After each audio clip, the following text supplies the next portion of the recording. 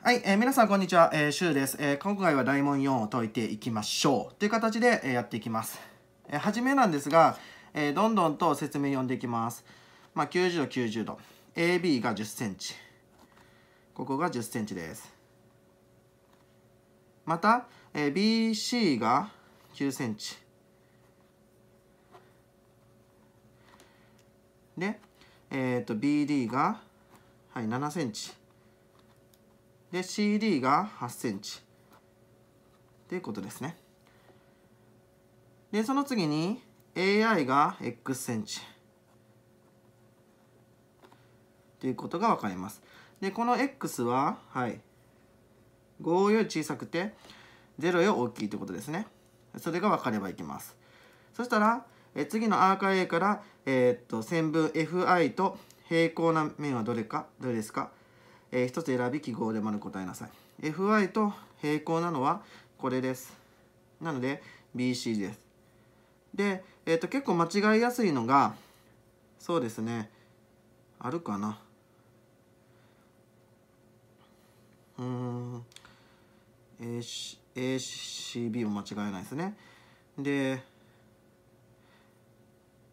ACD も間違いない。うん。E G あこれも間違いない。うん。そしたらもうこれでうってなりますね。でその次がちょっと難しい問題です。えっ、と10と x でここが、はい、10-x なんですよ。で面積16のでこの x を求めなさいって言われてるんですが長さがわからないんですよ。ですけど10の時 x なんですよ。だから7センチの時 x 求めようとしたら比でいけるんですよね。10対7は対ってなったらここって10分の 7x ってなりますよね。なのでここがはい。10分の 7x って分かればそれの考え方をこっちもやったらはい。10分の 8x センチになるんですよね。10で x やったら8で10分の 8x そしたらあともう一個。IB を平行移動させます。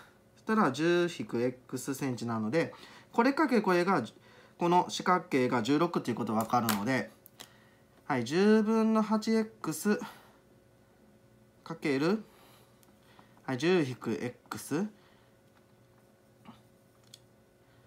でこれが16たら10倍すると 8x かっこ 10-x かっこ閉じ以降の160はい 80x-8x の2乗引く160は0はいえー、っと入れ替えていくとマイナスでかけるとはいマイナス 80x 足す160 8で割ると x の2乗引く 10x 足す20でここで因数分解するんですが因数分解できないので、えー解の公式を使います。解の公式は、はい、2a 分のマイナス b プラスマイナス、はい、b の2乗引く 4ac はい。そしたら、はい、x はこれ1なのでじゃあ a は1なのでここ2、はい、マイナス10なのでここ10で、はい、10の2乗は100引く 4×1×20 ってことは80そしたら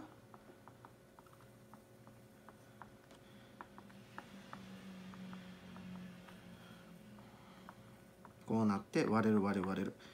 5そしたら5プラスマイナスルート5になるんですが x は5より小さく0より大きいので5たすプラス5してまで5よ大きくなる。5引くルート5っていうのはルート5って言ったら大体 2. 点何歩ぐらいなので合ってますね。なので5引くルート5ここは理由としては0からこれやからこれになると。はい。なのでセンチと分かった。答えは x は、はい、5引くルート5っていうのが正解になります。はい。ここの比のところの発想が出なくて解けない子が多いと思います。えーそれじゃあその次括弧2番やっていきましょう。えー、括弧2番なんですがもう掃除ってこれ書いてくれてるん楽なんですよね。えっとねここが平行なってであとは AC のとこ中点なのでそしたらここも長さ一緒なんですよ。これが分かれば結構楽かなと思います。で丸1番が BJ の長さ求めなさい。ここの長さですね。求め方なんですけど、えー、とここが7で7センチ。ここが9センチ。ここが8センチ。でここは10センチ。はい。最初ここのとこを捉えていきます。これはよく出る鉄板問題なので努力すればいける問題です。よくテキストでも書いてます。そしたらそうですねこちら x にしときましょうかそしたらここは 8-x センチなりますねでここを y にするんですよそしたら方程式でここで三辺応定理を使うと y の2乗は、はい、9の2乗引く 8-x の2乗ってなりますね。またここで三辺を定理使うと引く x の2乗。ただここは等式が成り立つので、はい、9の2乗引く8引く x の2乗は、はい、7の2乗引く x の2乗。81引く8波64、えー、足す 16x 引く x の2乗は7、えー、49の x の2乗。こことここ消えますね。で、えここを計算すると81引く64は17。17を移行すればいいので 16x イコール49-17。したらこうなって x は2って分かります。だけど、え bj を求めたいので y を求めないといけないのでこっちの方が楽なので x2 は代入します。そうすると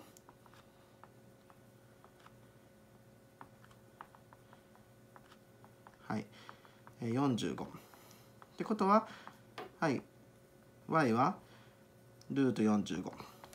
たら、3ルート5が正解になると。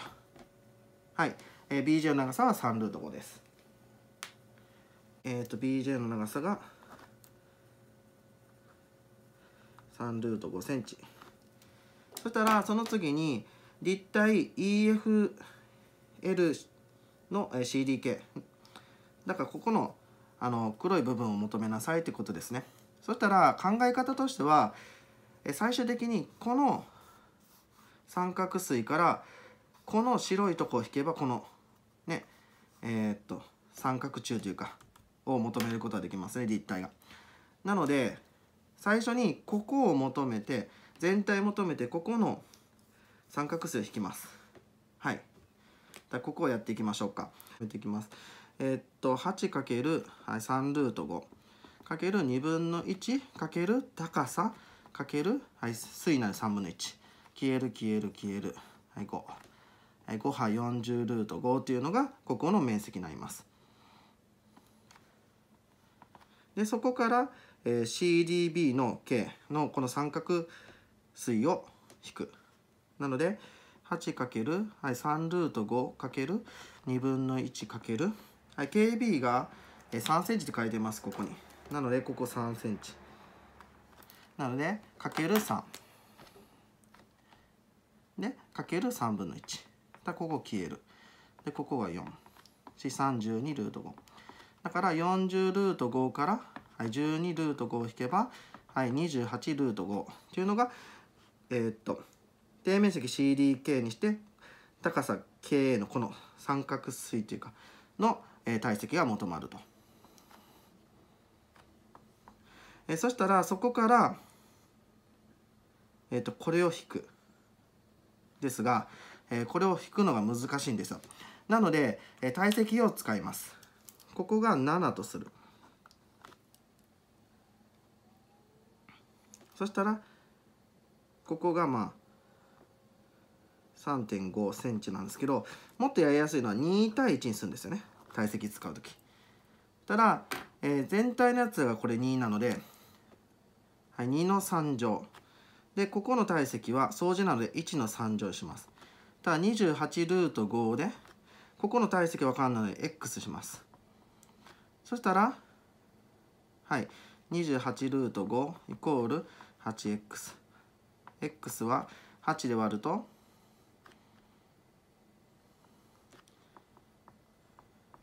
はい、2分の7ルート5です。なので、この小さいやつが2分の7ルート5なので、で、この部分が28ルート5。引けばいい。28ルート5から、はい、2分の7ルート5を引けばいい。はい、56ルート5引く7ルート5はい49ルート5でこれが、え、答えになります、え、それじゃあ、え、総括なんですけど、え、大問の1番は結構満点近く取れる。で大問2番もまあ満点近くか4分の3取れる。で大問3は1問取れない。だけど75%ぐらい取れる。で大問の4が、まあ50%、が75%取れる。ってことはマックスして言うとまあ80から75ぐらいの間で取れていくってことだったらそれだけ取れたらどこの学校でも行けます。数学で言うと。なので捨てる問題とちゃんと取る問題っていうのと時間配分をちゃんとやると、えー、計画的にすると合格の道になっていきますのでそこをしっかりとやっていきましょう。はい、えー、今回の問題が面白いと思いましたらグッドボタンとチャンネル登録よろしくお願いいたします。それでは次の授業で。それではまた。ありがとうございました。今回の問題面白い分かりやすかったグッドボタンをチャンネル登録よろしくお願いいたします。それでは次の動画でまた。では。